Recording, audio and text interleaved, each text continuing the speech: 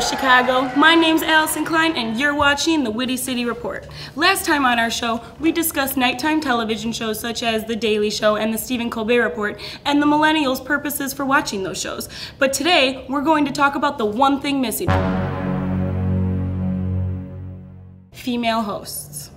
So let's give it up for all the late night female hosts.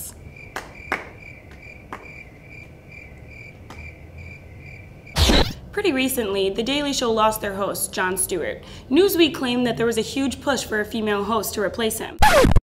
But Comedy Central claims that they interviewed tons of people of all genders with no favor towards males nor females, and then they still ended up with the male host, Trevor Noah.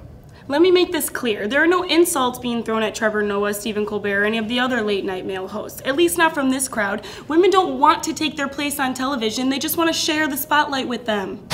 Vulture asked 37 female comedians if they would take advantage of the opportunity of hosting a late night television show. Some of them admitted that they would crack under the pressure and that they don't think that they could handle running the show alone.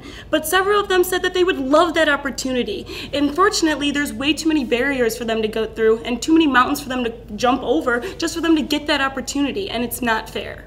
And yes, don't get me wrong, there are several women who have been lucky enough to have received the chance to host a late night show, such as the late Joan Rivers. She hosted a show and it lasted one year in 1986. And yeah, Chelsea Handler hosted Chelsea Lately on E for a couple of seasons. But what about the others? We need to go back to the idea that if you're funny and capable of doing the job, then you're hired, instead of it being based off gender and having this image that only men can host late night shows. I know it might be a big surprise to some people, but women can be funny too.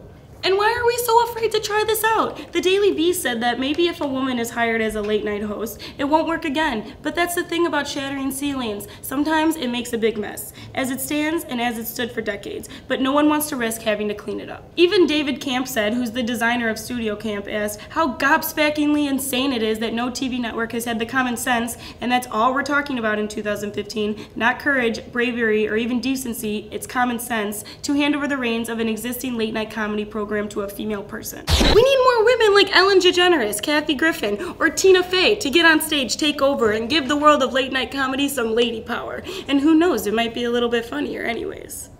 Despite gender, people are people, and the world of late night comedians are doing a great job. But that doesn't mean that we can't strive to change the image of these TV channels and these networks to something that all genders can relate to. You've been watching the Witty City Report. My name's Allison Klein, and have a great day, Chicago.